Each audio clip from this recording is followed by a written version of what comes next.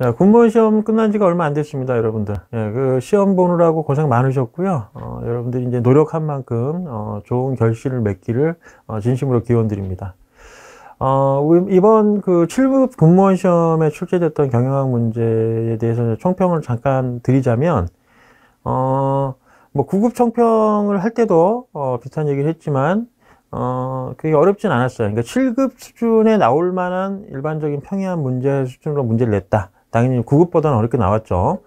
하지만 그렇다고 해서 어, 뭐 아주 어려운 문제, 뭐 전혀 뭐 지엽적인 문제를 내거나 그러지 않았습니다. 그리고 이제 계산 문제가 한 문제 정도 있었는데 어, 9급 공무원 시험 경영학에서는 이제 계산 문제가 없었어요. 어, 근데 뭐 이제 내년에 또 나올지 모르는 거고.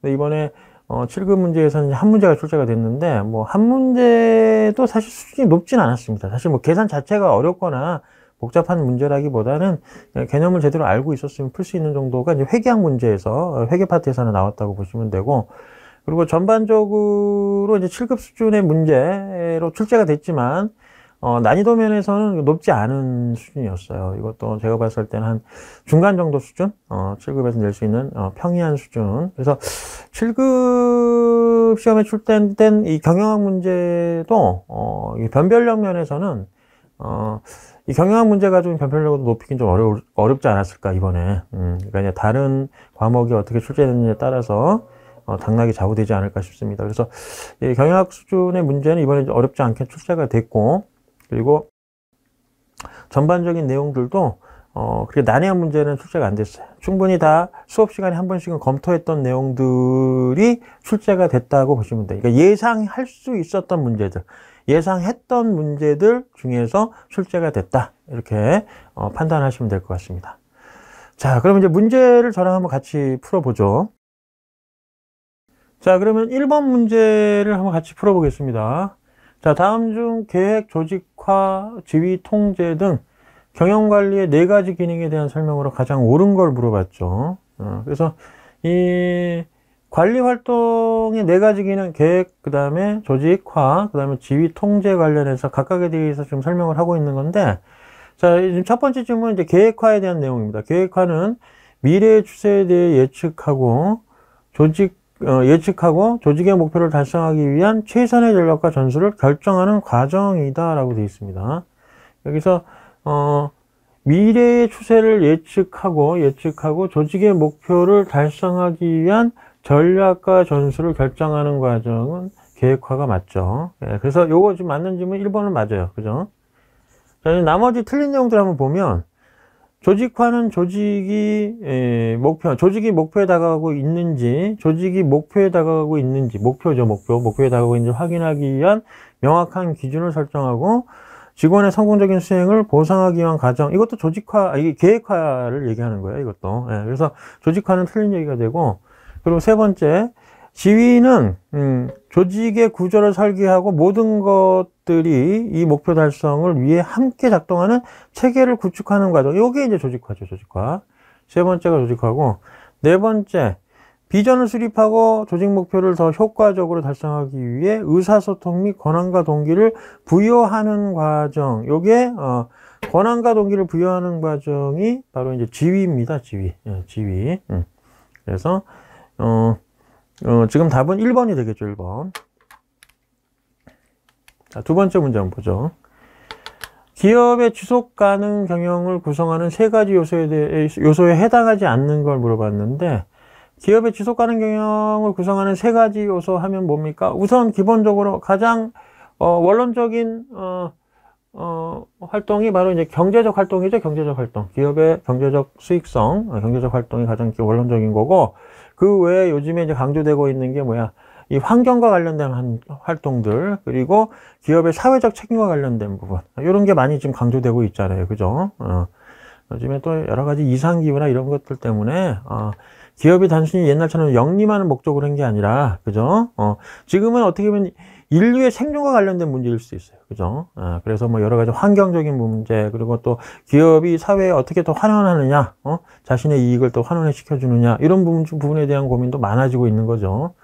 자, 그래서 이 1, 2, 4번은 맞는 얘기고, 대외적 공헌성은 이 세 가지 요소에 해당하지 않습니다. 그래서 기업의 지속 가능 경영이 세 가지 요소에 해당하지 않는 거는 이제 대외적 공헌성이다. 그렇게 보시면 되겠죠. 답은 3번이 됩니다. 3번 문제. 다음 중 기업의 사회적 책임에 대한 설명으로 가장 옳지 않은 걸 물어봤습니다.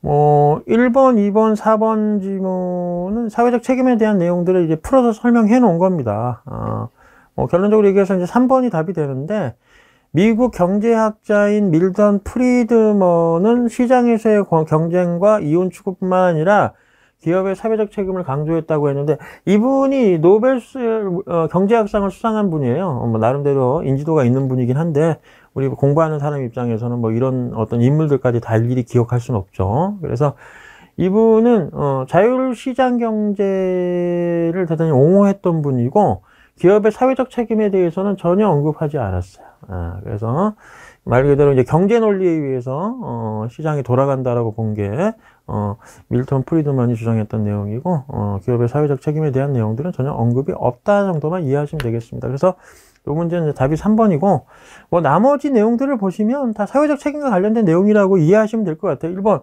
사회적 책임은 기업이 소유주뿐만 아니라 기업의 모든 이해관계자, 이해 당사, 이해관계 당사자들의 복리와 행복에 대한 기업의 관심과 배려에 바탕을 두고 있다. 사회적 책임이라는 게 그런 거죠. 그리고 사회적 책임은 청렴, 공정, 존중 등의 기본적 원칙을 충실히 이행하려는 책임감에서 비롯된다. 그죠? 이 법률적 책임이 아닌 법률적 책임의 도의적인, 도덕적인 아니면 이제 어떤 윤리적인 책임의 범주에도 포함이 되는 내용이라고 볼 수 있는 거 아닙니까? 뭐 사회적 책임하고는 또 별도의 엄연히 나눠지는 부분이 있겠지만 하여튼 법적 외적인 책임이잖아요. 어, 법률적 외의 책임이니까. 그리고 네 번째, 자선 재단, 재단 운영, 그 다음에 사회적 약자 고용, 환경 보용, 어, 보호 등은 기업의 사회적 책임 성과라고 할 수 있다. 이것도 맞는 얘기가 되겠죠.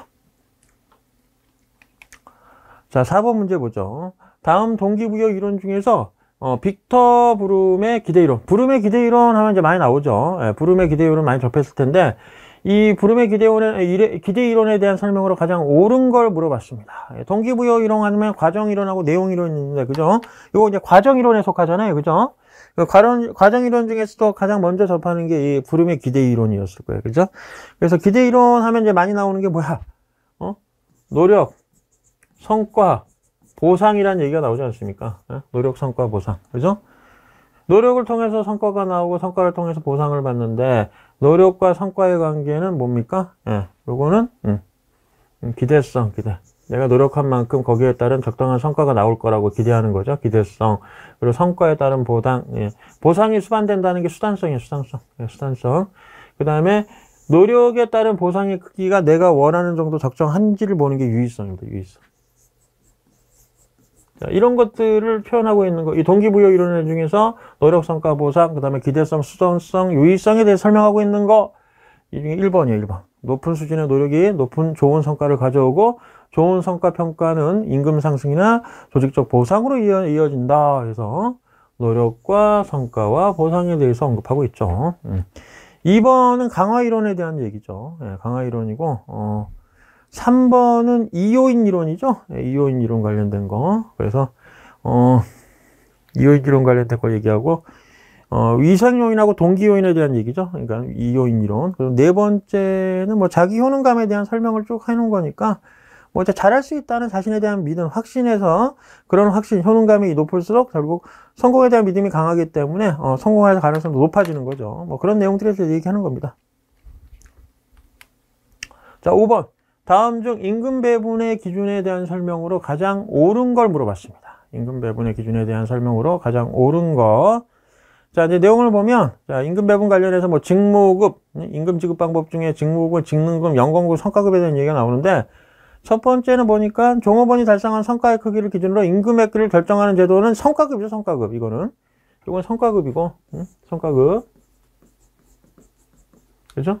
그리고 직능급은 종업원이 보유하고 있는 직무 수행 능력을 기준으로 임금을 결정하는 제도다라고 했는데, 어, 이건 맞네. 직무의 수행 능력, 예, 직능급, 예, 직무의 수행, 수행 능력에서 직능급이죠. 어, 수행 능력에 따라서, 어, 임금을 지급하는 게 직능급. 직능급은 영공급하고 직무급을 짬뽕 시켜 놓은 거죠. 요거는 직능급은 예, 영공급과 예, 직무급을 합쳐 놓은 개념이라고 보시면 되겠습니다. 예, 그렇게 이해하시면 될 것 같고 그 다음에 영공급은 그러니까 두 번째 맞는 얘기죠. 이거 맞는 얘기고 어, 그리고 세 번째 영공급은 해당 기업에 어, 존재하는 직무들을 평가하여 상대적인 가치 직무의 상대적 가치를 기초로 해서 임금을 결정하는 거 이건 직무급이에요. 이건 직무급. 예, 직무급. 직무의 상대적 가치 가지고 지급하는 게 직무급이고요. 네 번째 성과급은 종업원의 근속연수를 이게 연공급이네. 그죠? 이게 연공급입니다.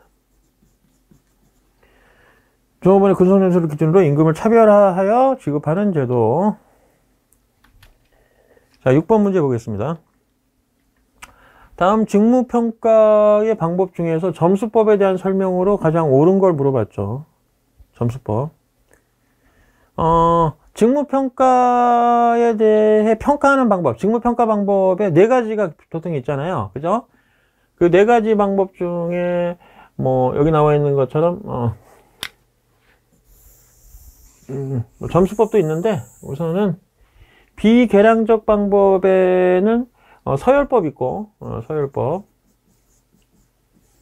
그리고 어, 분류법, 등급법 등이 있죠. 예, 분류법이라고도 하고 등급법이라고도 하고 뭐 이런 식으로 여기까지가 이제 비계량적 방법이고 계량적 방법에 해당하는 이 직무평가 방법에는 여기 나와 있는 점수법 그리고 네 번째가 요소 비교법이죠. 음. 요소 비교법 이런 방법들이 있습니다. 그 중에 이제 점수법에 대한 내용을. 이거 계, 계량적 방법에 해당한다고 보시면 됐어요. 직무평가 방법 중에서. 자, 그래서, 어, 1번 보니까 평가자가 포괄적인 지식을 사용하여 직무 전체를 서로 비교해서 순위를 결정하는, 이건 서열법에 대한 얘기예요. 서열법. 서열법에 대한 얘기고. 두 번째, 직무를 여러 평가 요소로 분류하여 각 평가 요소의 가중치, 중요동 및 일정 점수를 부여, 배분한 뒤 각 직무의 가치를 점수로 환산하여 상대적 가치를 평가하는 게 이게 점수법이죠. 이게. 예? 그래서 계량적 방법에 해당한다고 보시면 될 거고 네, 세 번째 그러니까 이게 2번 답이죠. 음, 그리고 이제 세 번째는 사전에 직무에 대한 등급을 미리 정해놓고 각 등급을 설명하는 서술을 준비한 다음 각 직무가 어느 등급에 속하는지 분류하는 방법이다. 이게 이제 등급별로 분하는 게 등급법, 분류법에 해당합니다. 세 번째가.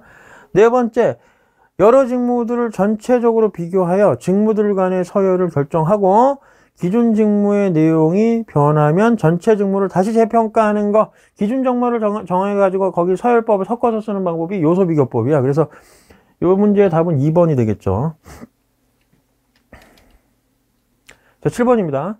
자, 다음 제품 설계와 관련된 내용에서 요 가로 안에 해당하는 설명으로 가장 옳은 걸 물어봤습니다.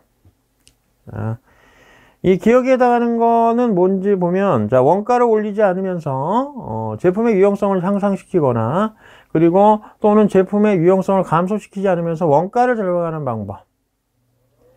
그러니까 원가는 있는 상태에서 제품의 효율, 성을 올리거나 효, 효, 예, 그 제품의 어떤 품질을 올리거나 아니면은 품질은 일정한데 원가를 낮추는 그런 것들이 이제 가치 분석이에요 가치 분석. 예, 기억에 해당하는 건 가치 분석을 의미합니다. 아, 그죠?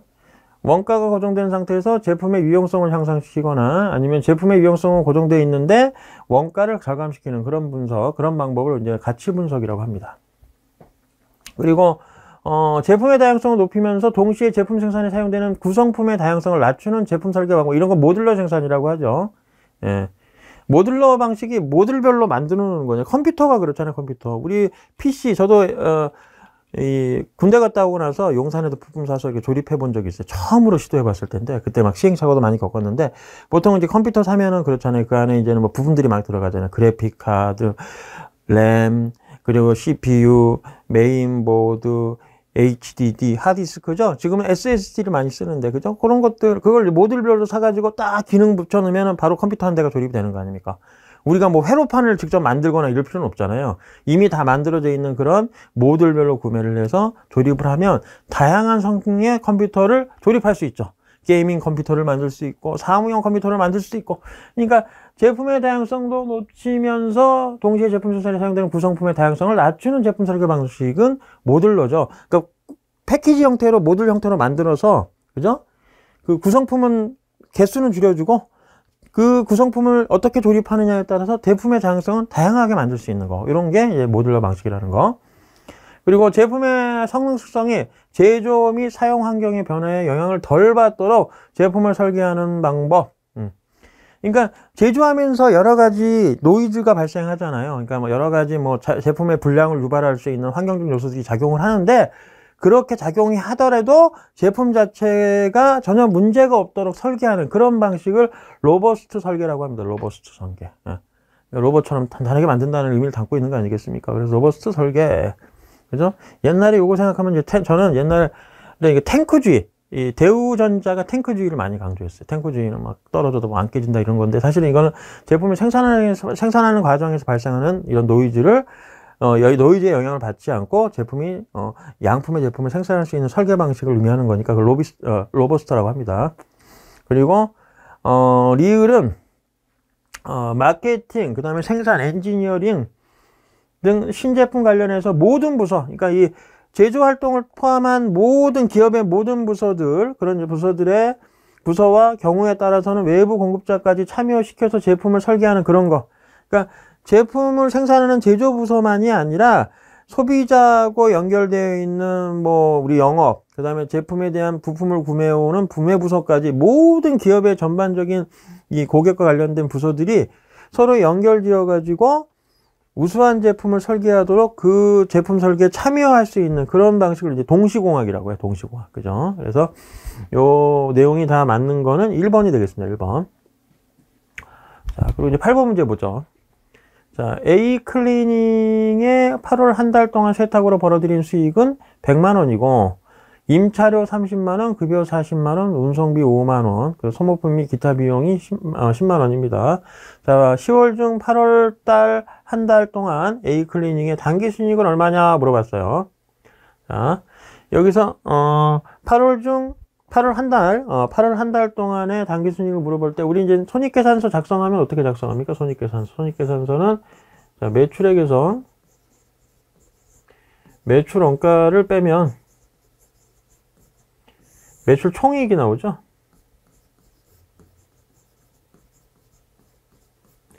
여기서 이제 판관비를 빼주면, 예, 영업이익이 나옵니다. 영업이익에서 영업의 영업 외 수익을 더해주고 영업 외 비용을 빼주면 예, 법인세 차감 전 순이익이 나와요. 음.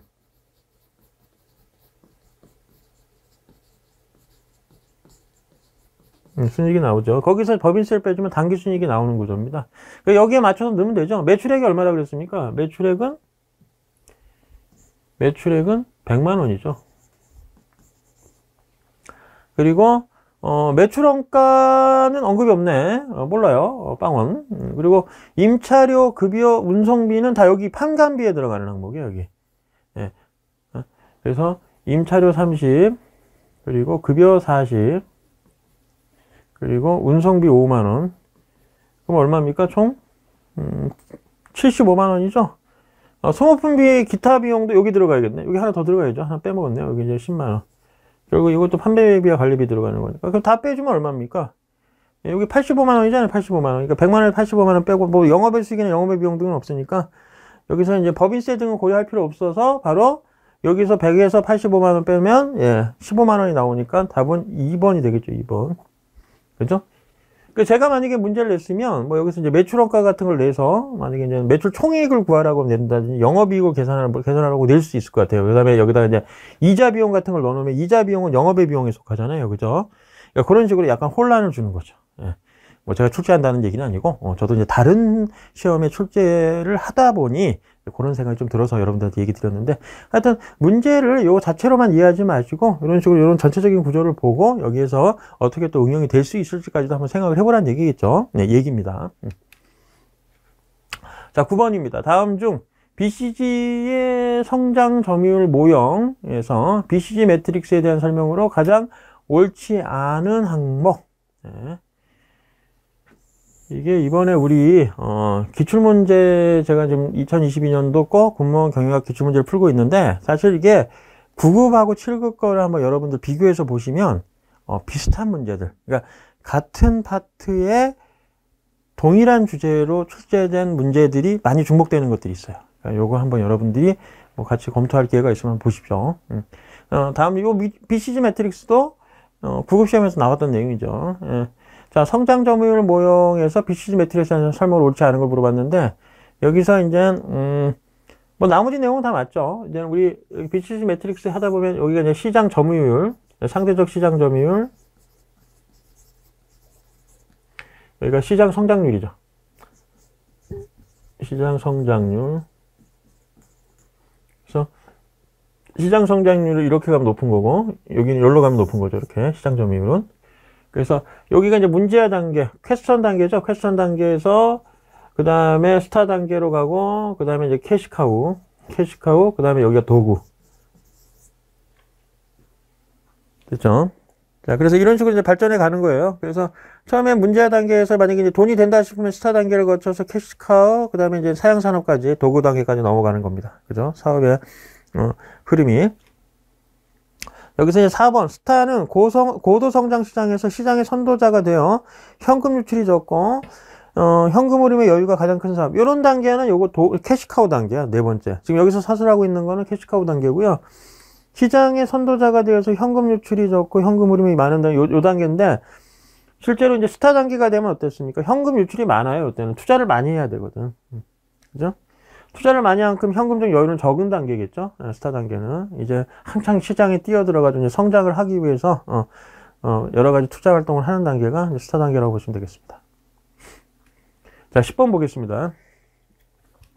기업의 경쟁 전략에 있어서 경쟁 우위는 차별화 우위와 비, 비용 우위로 실현될 수 있는데 다음 중 경쟁 우위와 경쟁 전략에 대한 설명으로 가장 옳지 않은 항목을 물어봤죠. 어, 비용으로 차별화시키는 방법도 있고 말 그대로 제품 자체, 품질 자체의 차별화를 어, 유도하는 방법도 있잖아요. 이제 기업 입장에서 타 기업, 그죠? 경쟁사하고 경쟁하기 위해서는 그죠? 말 그대로 제품의 차별화를 유도하는 거라 아니면은 원가를 낮춰가지고 가격에서의 차별화를 어, 어, 도모하거나 이제 그런 방법을 어, 모색할 수가 있습니다. 자, 그 중에서 세 번째 질문이 다양한 제품의 기획이나 제품 품질에 대한 광고 전략 등을 통해서 비용 우위 전략을 추진할 수 있다라고 했는데 제품의 다양한 제품의 기획과 제품 품질에 대한 광고 전략은 뭐야? 제품 자체의 차별화 전략인 거잖아요. 그죠? 비용 우위 전략이 아니라 제품 자체에 대한 차별화 전략입니다. 어, 우리 제품이 다른 제품하고 다르다는 걸 강조하는 거죠. 그래서 3번이 틀렸죠, 3번이. 그리고 2번 규모의 경제, 그 다음에 경험 효과, 조직의 효율성 증대에 대한 비용, 비교 우위, 비용 우위의 전천이 될 수 있다라고 했는데, 그죠? 규모의 경제를 달성하면 원가를 낮출 수가 있잖아요. 경험 효과도 학습 효과니까 원가를 낮출 수가 있습니다. 노무비를 절감할 수 있으니까. 그 조직의 효율성을 높이면서 불필요한 비용을 절감할 수 있으니까 이런 게 이제 원가 우위의 원천이 될 수 있다라는 논리입니다. 뭐 나머지 내용들도 그렇게 검토하시면 되는 거죠.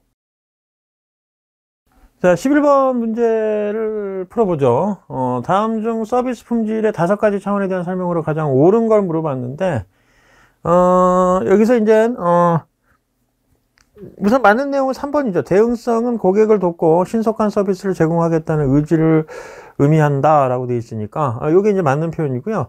어, 나머지 틀린 내용들 한번 보겠습니다. 이제 신뢰성이라고 돼서 1번 질문 보면 고객에 대한 배려와 개별적인 관심을 보일 준비 자세를 의미한다가 이게 공감성이에요, 공감성. 공감성에 대한 얘기고요. 서비스 품질 중에.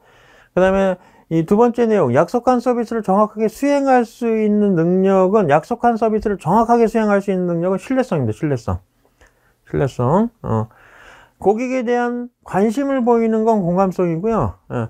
그 서비스를 정확하게 수행하는 건 신뢰성이라고 보시면 되겠어요. 그리고 이제 확신성이라고 해서 나온, 나온 내용 보니까 물질적인 시설이나 설비, 직원 등 외형적인 수단을 의미한다. 이거는 그건 뭐예요? 유형성이죠, 유형성. 그러니까 이제 우리가 어디 그 고객 센터 갔을 때 그 서비스라는 게 단순히 그죠? 무역만이 있는 게 아니라 그 안에 시설이라든지 그 직원들이 입고 있는 복장, 외모 이런 거에 대해서도 우리가 평가를 하잖아요. 그리고 거기에 따른 만족감을 느끼지 않습니까? 그죠? 깨끗하고 친절한 사람들에 대해서 호감을 더 갖는 거 이런 게 이제 유형성이라고 보시면 되겠습니다. 그래서 어 요건 좀 답이 3번이 되겠죠. 3번. 자, 12번 보죠. 다음은, 다음 내용은 어떤 기업 전략의 사례를 설명한 것이다. 아래 사례 가장 옳은 건 뭐냐? 이렇게 물어봤습니다. 자, 그래서 보기의 내용을 보니까 N사는 어, 운동화를 만드는 과정 중에서 제품 디자인과 판매와 같이 가치 사슬의 처음과 끝부분만 자신이 담당하고 나머지 생산 부분은 전 세계 하청 기업에 맡기고 있다. 전 세계의 하청 기업에 맡기고 있다고 하네요. 자, 하청 기업들 간에 서로 비용 절감 및 품질 향상 경쟁을 유도하여 그 중에서 가장 낮은 가격과 높은 품질의 제품을 구매한다. 자, 하청 기업 중에서 어, 좋은 품질과 낮은 단가를 부르는 업체를 선정해서 거기와 계약을 해서 운영하는 그런 방식은 이제 전략적 아웃소싱이라고 보시면 됩니다. 외주를 주는 거죠, 외주. 예. 됐죠? 이 전략적 제휴하고는 다르죠. 제휴는 서로 이제 합작 투자하는 개념이고, 이 아웃소싱 개념은 서로 하나의 회사로 합작 투자하는 개념이 아니라 우리 회사가 다른 회사에 그냥 그 어떤 주문에 대한 부분만 어, 외부에 외주를 준다라는 표현은 바로 이제 어떤 특정한 건에 대해서만 어, 별도로 주문을 하고 거기에 따라서 이제는 어, 제품을 수령하는 그런 것들이 이제 외주라고 하잖아요. 아웃소싱. 답은 1번이 되겠죠. 자, 13번 보겠습니다. 다음 중 재고 및 재고 관리에 관한 설명으로 가장 옳지 않은 항목을 물어봤습니다. 자, 여기서, 어, 틀린 것만 보면, 이게 이제 4번이 잘못됐어요. 이제 일반적으로 고정 주문량 모형은 고정 주문 모, 아, 정기 주문 모형보다 더 많은 안정 재고를 요구한다 그랬는데, 더 적은 안전 재고를 요구하, 요구하는 거죠. 이게 이제 고정 주문량이 Q 모형이죠. Q 모형. 그 다음에 고정, 정기 주문 모형이 P 모형입니다. P. 네? 그래서 이건 주문량이 일정한 거고, 이거는 일정한 기간별로 주문을 하는 건데, 고정 주문량은, 그죠? 그 일정 주문량이 될 때까지 매일같이 확인을 해요. 창고에 가서. 창고에 물건이 얼만큼 있느니까, 어, 재고가 일정 양만큼 줄어들면 그때 이제 한 번에 왕창 그 정도의 양을 주문하니까 매일같이 창고의 주문량을 확인한단 말이에요. 창고량, 창고에 있는 재고량을. 그러니까 안전 재고를 많이 확보하지 않으면 되지. 예. 근데 정기 주문 같은 경우는 일정 기간 동안까지는 창고에 안 가봐. 그냥 일정 기간이 되면 주기적으로 주문만 할 뿐이야. 그러니까 안전 재고를 어느 정도 완벽하게 확보해 놓지 않으면 어떤 달에 성수기 때 어, 창고에 있던 재고가 다 소진돼 버릴 수도 있는 거 아니에요. 그죠? 창고 관, 관, 뭐야, 관리도 안 하고 있는 상황에서 나중에 뭐 성수기 때 물건이 왕창 주문이 들어와 버리면 창고에 재고가 얼마가 있는지 확인하지 않은 상태에서 주문이 들어오면 창고 재고가 바닥이 나는 수도 있, 있을 수 있잖아요. 그러니까 안전 재고를 더 확보를 해야 되고 정기 그러니까 조정 주문량이 정기 주문 모형보다는 어, 안전 재고를 더 적게 확보해도 된다는 얘기죠. 그죠? 자, 그럼 14번입니다. 다음 중 투자한 평가 방법에 대한 설명으로 가장 옳지 않은 걸 물어봤습니다. 자, 이것도 사실 이제 이번에, 음, 구급 시험에도 나왔던, 어, 문제입니다. 그래서 투자한 평가 방법, 회계적 이익률법, 회수 기간법, 내부 수익률법, 뭐, 현, 순형, 현, 현가법, 이건 MPB법이라고, 이건 IRR법이라고 하죠. 그죠? 그래서 이 두 가지 방법은 화폐의 시간 가치를 또 고려하지 않습니까? 수익성 지수법도 어, 화폐의 시간 가치를 고려하죠. 자, 여기서 옳지 않은 거는 2번. 그래서 회수기간법에서는 원금 회수 기간이 목표 회수 기간보다 긴 투자안을 선택하는 게 아니라 더 빨리 회수, 회수돼야지 좋은 거 아니에요. 기업 입장에서는. 그죠? 원금을 최대한 빨리 회수할 수 있는 투자안이 좋은 투자안인 거예요. 그죠? 그러니까 긴 투자는 잘못된 거죠. 내가 투자한 원금을 빨리 회수해야 되는 거 아니에요. 기간이 빠를수록 더 좋은 투자안이 되는 겁니다. 그래서 2번이 틀린 얘기가 되는 거죠. 자, 15번. 다음 중 공급사슬 관리의 개념과 그 내용에 대한 설명으로 가장 옳지 않은 걸 물어봤는데, 공급사슬 하면 이제 supply chain management, SCM이 생각날 거고, 그죠?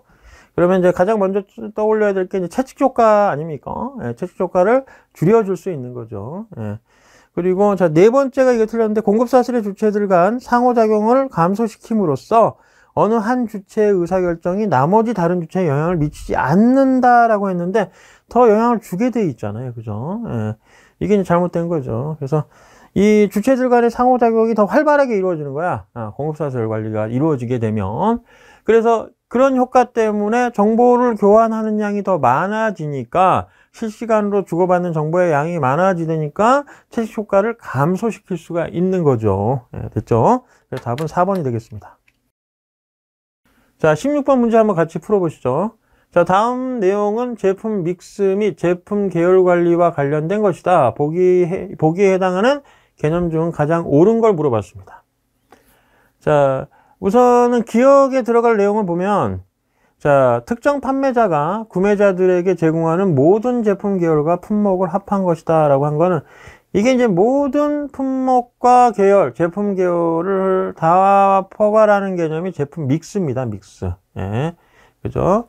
그 회사에서 다루는 모든 제품군을 제품 믹스라고 우리가 아, 얘기를 하는 거고, 그 다음에 니은에 해당하는 거, 동일 유형의 유통 경로를 통해 동일한 고객 집단에게 판매되는 서로 밀접한 관련이 있는 제품들의 집단이다라고 한 거. 요게 이제는 같은 계열에 속하는 거, 같은 음, 그 그룹으로 묶이는 제품들을 제품 계열이라고 하죠. 제품 계열. 제품 계열. 그리고 자, 여기서 이제 디귿에 해당하는 걸 보면 뭐냐면 하나의 제품 계열 내에서 그죠? 그러니까 브랜드별로 묶일 거 아닙니까? 그죠? 그래서 제품 계열 내에서 크기, 가격, 외형 또는 다른 속성에 따라 구분할 수 있는 하나의 독특한 단위다라고 하는 게 이제 품목이지, 품목. 그래서 제품 mix, 제품 계열, 제품 품목으로 설, 지금 설명되어 있는 게 3번이 되겠습니다. 3번. 예. 자, 17번 문제를 한번 같이 보시죠. 자, 다음 중 인사평가의 신뢰성을 떨어뜨릴 수 있는 오류에 대한 설명으로 어, 가장 옳지 않은 걸 물어봤습니다. 자, 그래서 여기서 어, 어, 각각 하나씩 보시죠. 자, 연공 오류는 피평가자가 가지고 있는 연공적 속성인 연령 또는 학력 아니면은 그 직장에서의 근속 연수를 기준으로 평가하는 평가할 때 미치는 영향을 의미한다. 맞는 얘기죠. 그러니까 이제 연공급이라고 우리 급여 체계에서도 보면 그 사람이 그 회사에 얼마나 일을 했느냐, 나이가 어떠냐, 그리고 대졸이냐 고졸이냐에 따라서 연공급이 바뀌는 것처럼 연공오류라는 게 그런 항목들에 의해서 오류를 일으키는 어, 그런 오류를 우리가 이제 연공 오류라고 합니다. 그래서 그 회사에 오래 존속하게 되고 그 다음에 학력이 어떠냐 아니면 나이가 어떠냐에 따라서 어, 잘못된 평가를 하는 그런 오류를 말하는 거죠.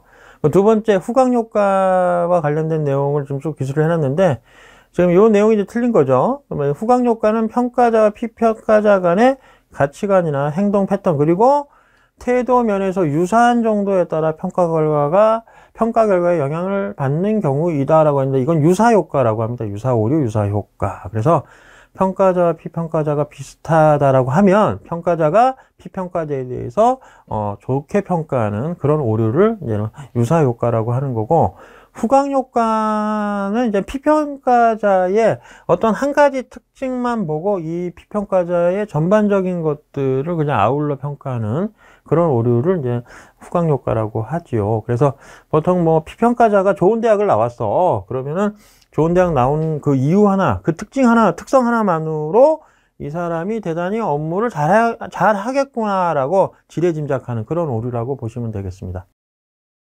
그리고 세 번째, 대비 오류는 평가자가 여러 명을 평가할 때 우수한 피평가자의 다음에 평가를 받으면 그 평가, 피평가자는 뭐 당연히 낮은 점수를 받게 되고요.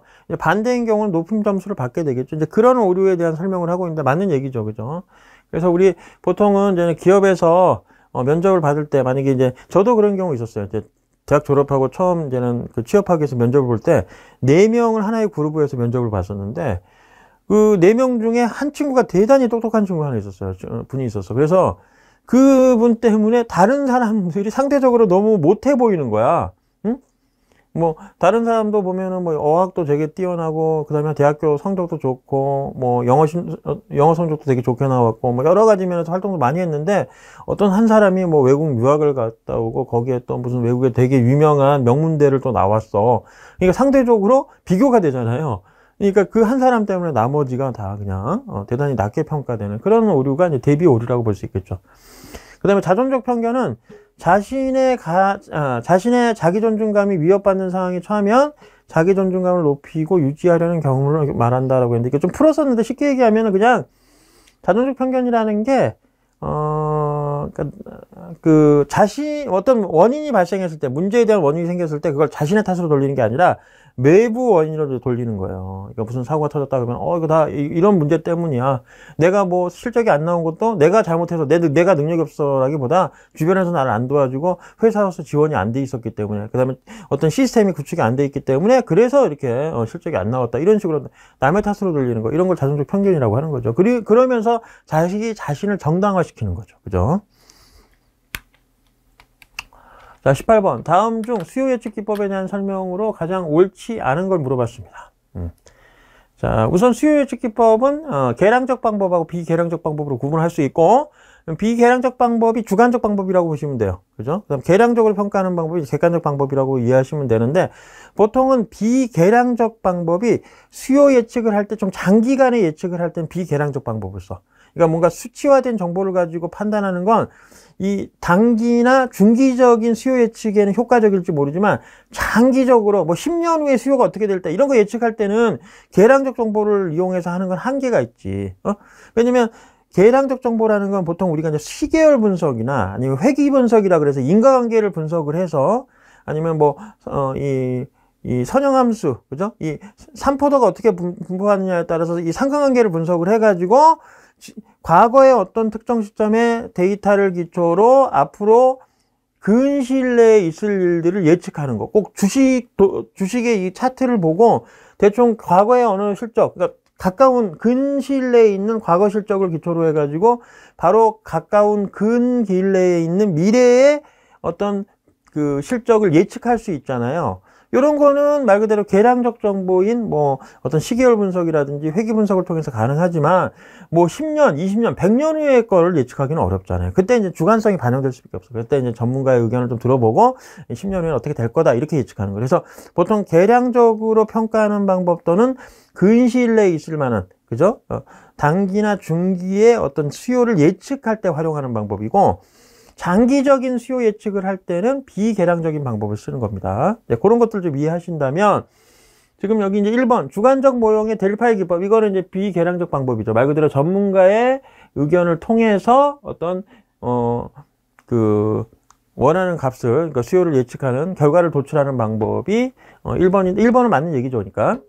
그리고 2번 일반적으로 예측 기간은 주관적 모형에서는 인과형 모형 그리고 시계열 모형을 이용, 이, 이, 시계열 모형을 이동함에 따라 점점 짧아진다. 그러니까 주가적 모형에서 인과형이나 시계열 모형처럼 객관적 모형으로 변해갈 때 이 예측에 대한 기간은 이 주관적 모형일 땐 길었지만 그죠? 인과형이나 시계열, 인계형, 인과형이 그거예요. 그, 어, 그, 뭐야. 회귀 분석이죠, 회귀 분석. 그러니까 회귀 분석이나 시계열 분석을 통해서 했을 때는 예측 기간이 점점 짧아지는 거. 그러니까 맞는 얘기가 됩니다. 자, 그리고, 어, 4번 관련해서 뭐, 얘기를 좀 드리자면, 주관적 모형의 역사적 유추법은 독립변수와 종속변수 간의 관계를 파악하여 수요를 예측한다. 이 독립변수와 종속변수를 통해, 관계를 통해서 수요를 예측하는 거는 회귀분석이에요, 회귀분석. 인과형 모형이죠. 예, 요거 관련된 내용을 설명하고 있는 겁니다, 지금. 그리고 3번 주관, 주관적 모형의 상호 영향 분석 기법은 미래의 사건이 이전 사건의 발생과 관련이 있다고 가정하고 어, 미래 사건의 발생 가능성을 추정한다. 그렇죠. 과거 사건을 기초로 미래를 예측하는 방법이니까 예, 뭐 3번도 맞는 얘기가 되겠습니다. 그렇게 어, 가정을 하는 거죠. 자, 19번.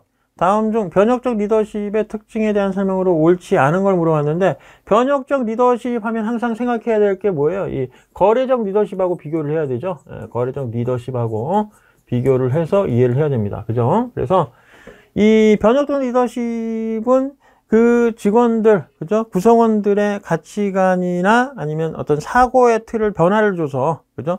궁극적으로 기업의 목표를 달성하려고 하는 것이고, 거래적 리더십은 말 그대로 그냥 그 구성원들에게 보상을 통해서 조직이 원하는 목표를 달성하도록 만드는 그런 리더십이 거래적 리더십입니다. 맞아. 구성원과 리더와의 거래를 통해서 어, 조직의 궁극적인 목표를 달성하는 건 거래적 리더십.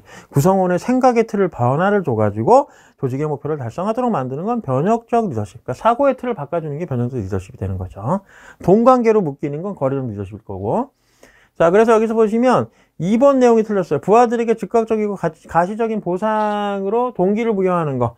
결국 돈으로 해결하는 거. 이건 뭐야? 거래로 리더십을 의미하는 거죠. 어. 보상을 통해서 조직 구성원들의 사, 어떤 행동에 변화를 주는 그런 리더십은 예, 거래형 리더십이 됩니다. 자, 20번. 다음 중 다각화에 대한 설명으로 가장 옳은 것.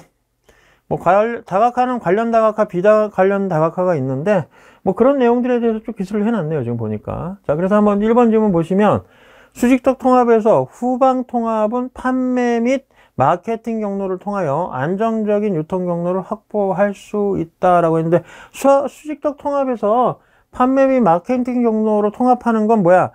이게 후방 통합이 아니라 그죠? 유통 단계에서 소비자 쪽으로 흘러가는 건 전방 통합이잖아요. 그죠? 예. 거꾸로 공급처 쪽으로 공급처 쪽으로 이제는 이렇게 통합하는 건 후방 통합이 되는 거고 이건 전방 통합인데 후방 통합으로 표시를 했기 때문에 잘못된 거죠, 이거. 그죠? 자, 그리고 2번 관련 다각화는 기존의 제품이나 시장을 벗어나 새로운 사업으로 진출하는 것을 의미한다라고 했는데 기존의 제품이나 시장의 틀을 벗어나고 새로운 사업에 진출하는 거는 완전히 생뚱맞은 일을 하는 거잖아.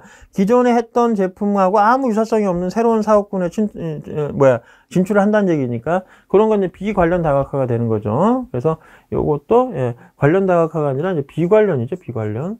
음, 비관련 다각화. 예, 그리고 세 번째, 비관련 다각화는 특정 기업이 현재의 사업 범위와 서로 관련성이 있는, 관련성이 있는 큰 사업에 진출하는 걸 말하는 거는 이건 이제 관련 다각화죠. 비관련이 아니라. 예.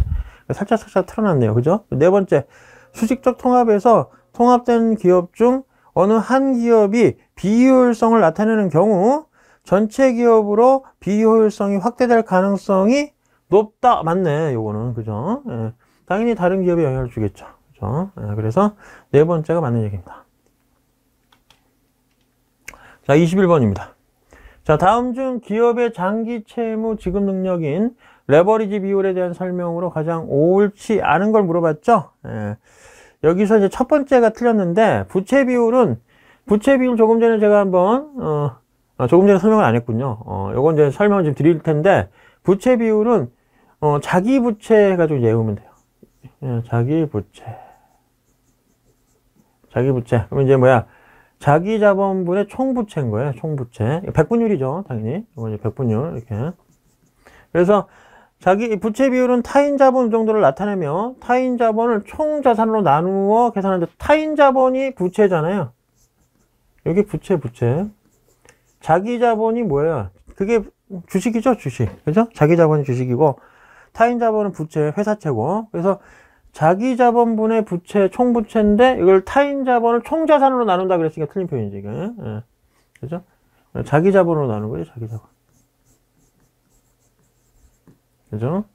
요것도 7급, 아, 9급 경영학 기출에서도 비슷한 문제가 나왔어요. 뭐 이거 똑같은 건 아닌데, 부채 비율이라든지 아니면은 당자 비율, 유동 비율을 물어보는 문제가 나왔습니다. 자, 그래서 이건 답은 1번이죠.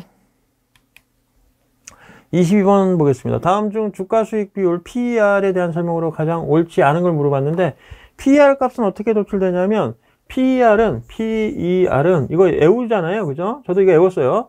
P 쓰고 ER 쓰면서 이걸 여기다 슬러시 딱 긋는 거야. P가 주가 주가.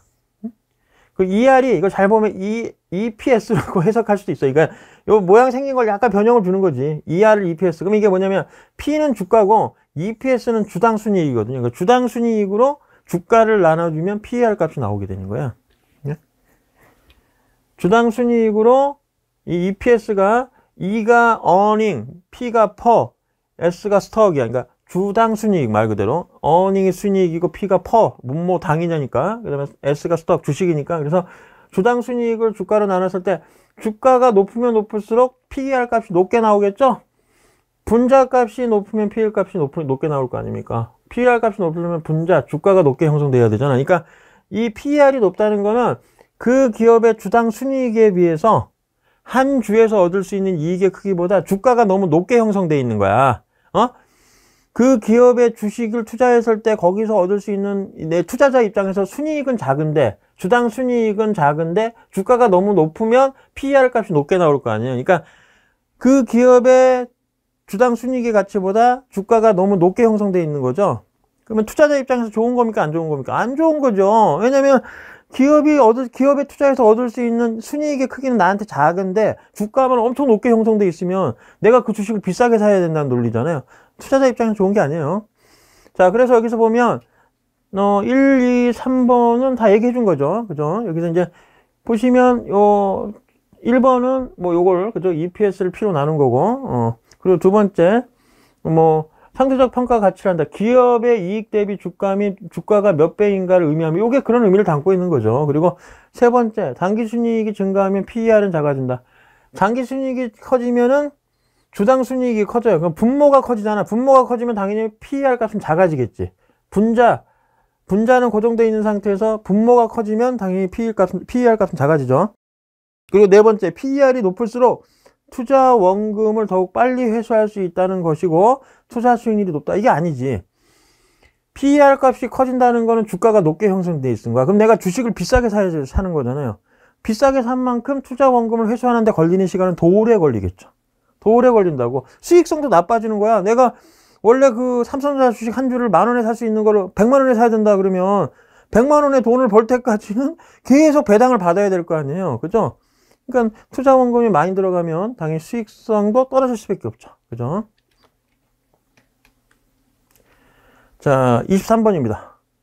다음 중 주, 분산 투자를 함으로써 제거할 수 있는 비체계적 위험으로 옳은 것 이것도 9급 시험에 나왔던 문제네요. 그죠? 체계적 위험과 비체계적 위험 그 중에 비체계적 위험은 기업 특유의 위험으로서 포트폴리오 전략 분산 투자를 통해서 그 위험을 줄일 수 있고 체계적 위험은 시장 전체에 미치는 영향이기 때문에 포트폴리오 전략, 분산 투자를 하더라도 줄일 수 없는, 위험을 줄일 수 없는 위험을 우리가 체계적 위험이라고 합니다. 그래서 여기서 비체계적 위험에 해당하는 건 그 회사한테만 발생하는 기업 특유의 위험을 말하는 거죠. 그래서 1번 기업의 노사분규나 소송 발생 등과 같은 요인에서 발생하는 위험 이런 것들이 그 기업 특유의 위험이잖아. 그 노사분규하거나 소송이 발생한 회사에 투자 안 하면 되죠. 그 위험을 회피할 수 있잖아요. 그죠? 그래서 비체계적 위험은 회피가 가능한 위험입니다. 그래서 위험을 줄일 수가 있어. 네, 그래서 답은 1번이 되는 거죠. 1번. 자, 24번 보겠습니다. 자, 서비스업은 제품 생산 및 제조업체와는 다른 특성을 가지고 있다. 다음 중 서비스 운영의 특징에 대한 설명으로 가장 옳지 않은 항목을 물어봤습니다. 자, 여기서도 뭐 서비스는 무형적인 특성이 있어서 구매 전에 관찰 및 실험이 어, 시험이 어렵다. 그렇죠. 무형성 때문에 그런 거고. 두 번째 서비스는 생산과 동시에 소비됨으로 저장될 수 없어. 이게 동시성 때문에 그런 거잖아요. 그죠? 어, 생산과 동시에 됨과 동시에 바로 소비가 돼야 되는 거니까. 그리고 세 번째 서비스는 어, 소멸 어, 시간 소멸적인 특성이 있어서 서비스 능력을 저장할 수 없다. 그리고 소멸성 때문에 그런 거죠. 어, 생산된과 동시에 소멸돼 버리잖아요. 그죠? 네 번째, 서비스 전달 시스템에 고객이 참여하기 때문에 고객마다 동일한 서비스가 제공된다. 아니죠. 서비스는 고객마다 그 만족감이 달라. 그러니까 이질성 때문에 동일한 서비스가 제공되지 못해. 예? 서비스를 제공하는 종업원이 같은 서비스를 제공하더라도 동일한 종업원이 고객한테 여러 고객한테 동일한 서비스를 제공해도 고객이 느끼는 만족감은 다 다르다고요. 예? 이질성 때문에. 그래서 4번이 틀린 얘기죠. 음. 자, 25번. 다음은 시장 세분화의 기준을 설명하는 내용이다. 아래의 사례에서 가장 옳은 건 뭐냐 이렇게 물어봤네. 자, 제품의 편익. 제품을 구매하고 사용하여 어떤 편익을 얻고자 한다가 제품 편익이고 브랜드 충성도는 어떤 특정 제품 브랜드에 대해서 선호하는 심리적 상태를 말하고 태도는 제품에 대한 소비자의 태도를 조사하여 시장을 세분화할 수 있다라고 있는데 제품의 표직과 브랜드의 충성도와 그리고 고객이 제품에 대한 태도 요 세 가지를 기준으로 이 시장을 세분화하는 거는 이 제품 편익이나 브랜드 충성도 태도는 누구하고 관련된 거야? 그 고객의 행동과 관련된 거잖아. 행동. 그죠? 그죠? 그래서 행동적 요소에 대한 세분화 기준이 되겠습니다. 그래서 답은 몇 번? 예, 3번이죠. 3번. 예. 자, 여기까지 해서 예, 모든 문제를 같이 다 풀어봤습니다. 예. 아, 여러분들 수고하셨습니다.